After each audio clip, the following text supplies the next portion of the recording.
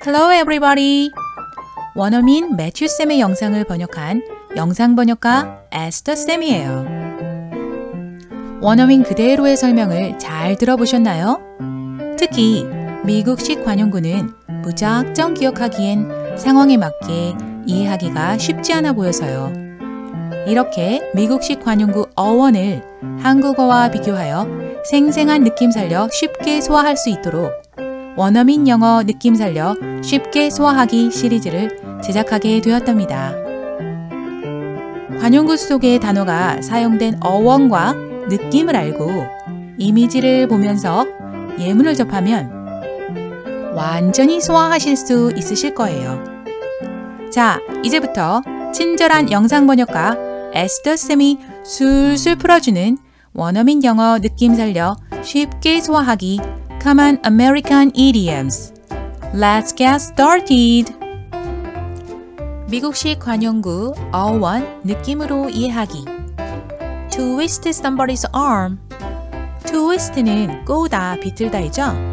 누군가의 팔을 비틀면서 여기서 강요하는 느낌 나죠? 설득시키려고 애쓰는 그런 느낌이랍니다. Twist somebody's arm 은 바로 설득하다, 강요하다. 왼쪽 이미지에서 한 아이는 엄마 다리를 잡아당기고 pull mommy's leg. 한 아이는 엄마 팔을 잡아당기고 twist mommy's arm 하고 있죠.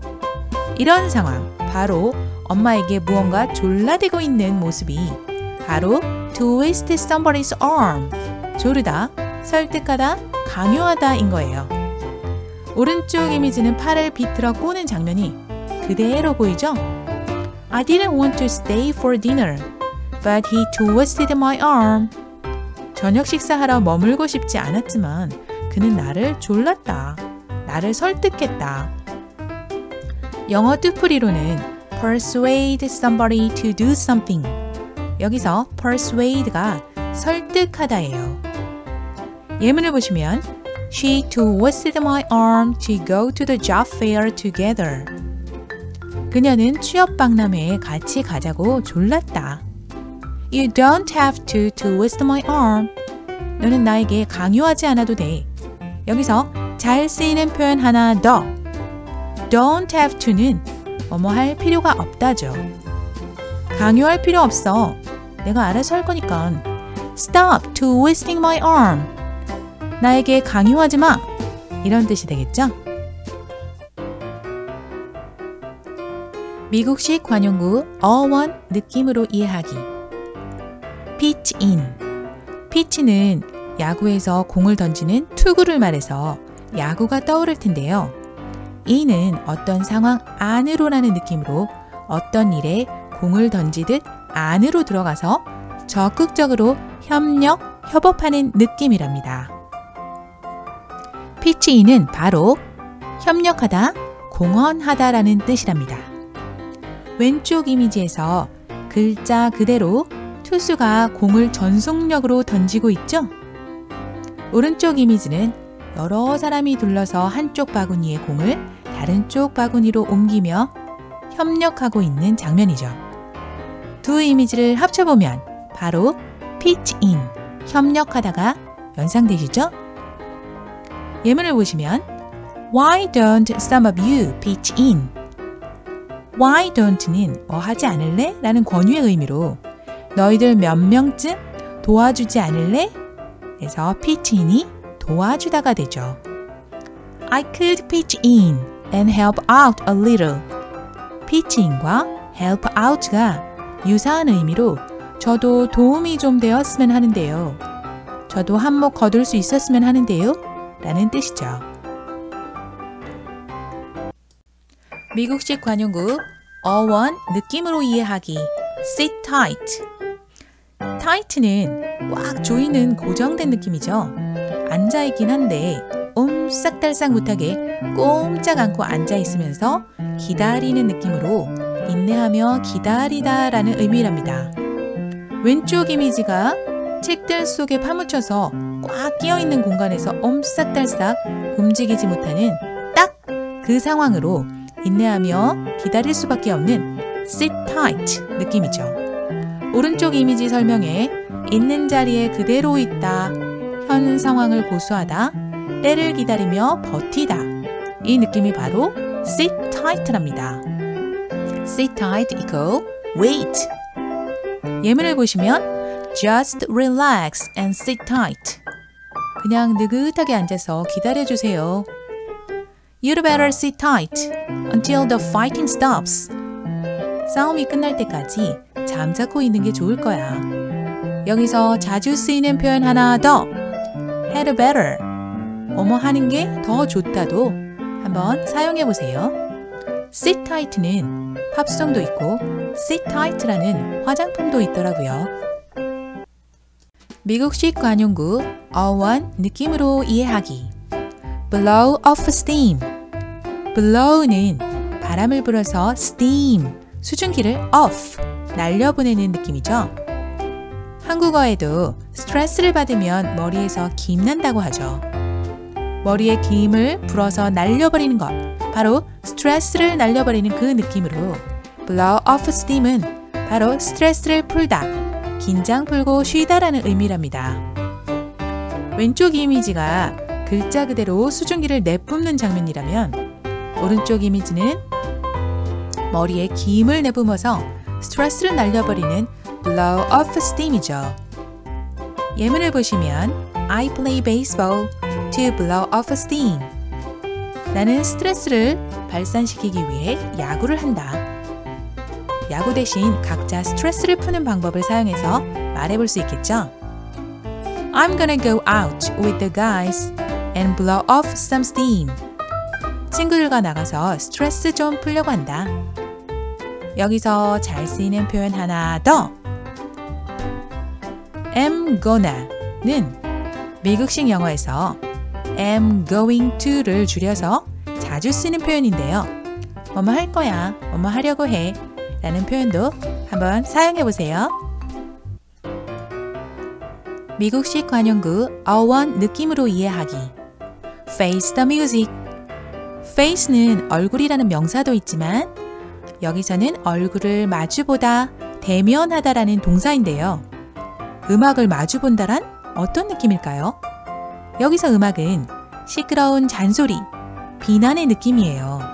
왼쪽 이미지처럼 혼나는 음표, 비난의 음표, 아마도 오른쪽 이미지처럼 시끄러운 음악, 듣기 싫은 음악을 마주대하고 있는 바로 그 느낌일 거예요. Face the Music은 바로 비난을 각오하다, 벌을 받다, 책임을 지다, 현실을 받아들이다 라는 의미랍니다. 예문을 보시면 After failing a math test, Tom had to go home and face the music. 수학 시험에서 떨어진 후 톰은 집으로 돌아와 현실을 받아들이지 않으면 안 되었다. I'll face the music. 내가 뒷감당할게. 내가 책임질게. 아마도 그 현실은 좀 달갑지 않은 그런 현실이겠죠? 미국식 관용구 어원 느낌으로 이해하기 Cut to the chase 예전 서부 영화를 찍는 촬영 현장에서 나온 말이라고 하는데요. chase, 추격 추격 장면이 아마도 가장 중요한 본론에 해당하는 장면이었나 봐요.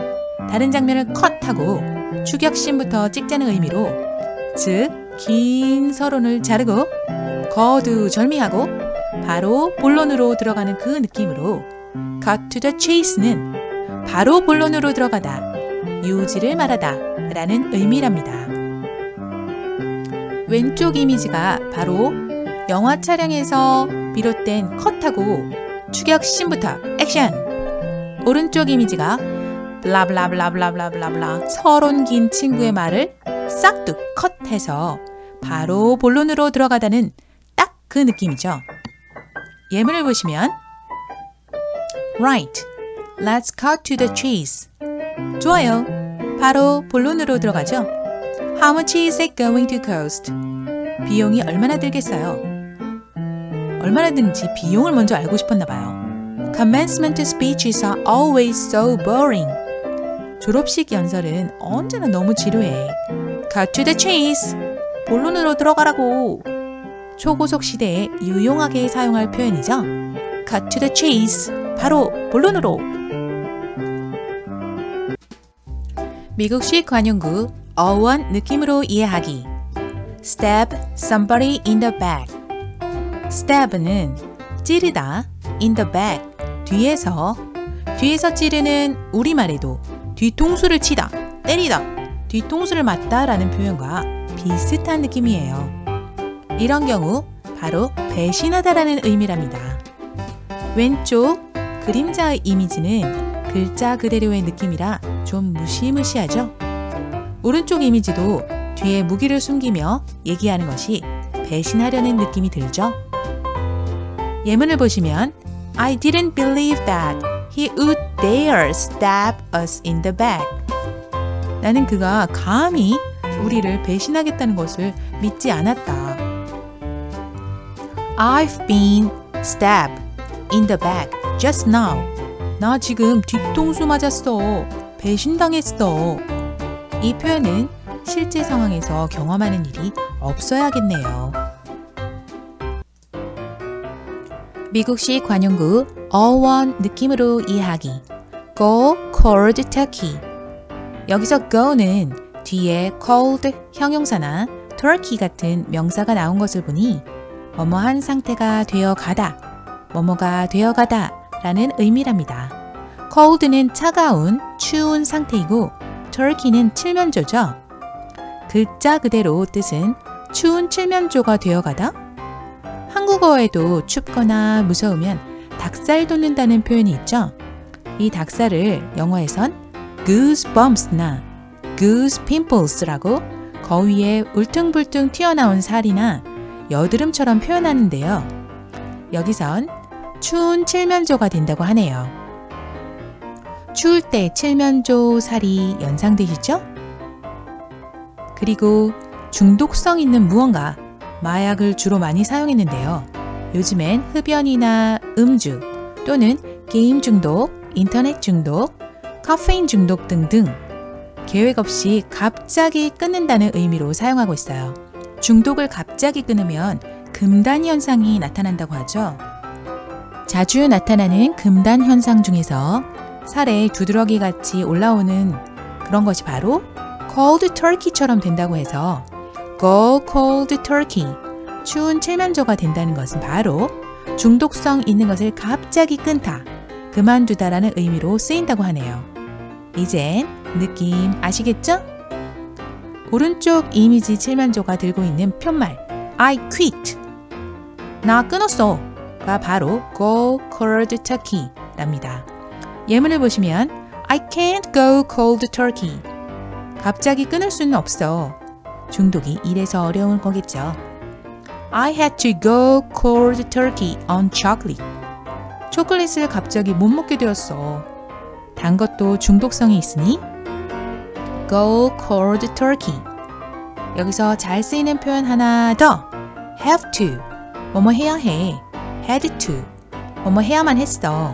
강제로 go cold turkey 하는 상황이겠죠? go cold turkey 할 것이 많지 않도록 중독의 시대에 모두 조심하시고 건강해요 우리. Stay healthy. 미국식 관용구 American Idioms 이렇게 어원과 영어, 한국어 느낌을 살려 이미지로 연상하니 그렇게 어렵진 않죠? 그럼 이 영상을 이해하신 이후에 다시 한번 매튜쌤의 Common American Idioms 1을 원어민 영어쌤 영어 설명으로 들어보시면 훨씬 느낌이 와 닿으실 거예요. 앞으로 영어, 한국어 뉘앙스를 느끼며 언어를 습득할 수 있도록 전문 영상 번역가 에스더쌤이 친절하고 깊이 있게 원어민 영어 느낌 살려 쉽게 소화하기 시리즈로 술술 풀어드릴게요. 더 유익한 영상 제작을 위해 좋아요, 구독, 알림은 큰 힘이 된답니다. See you next time. Bye bye.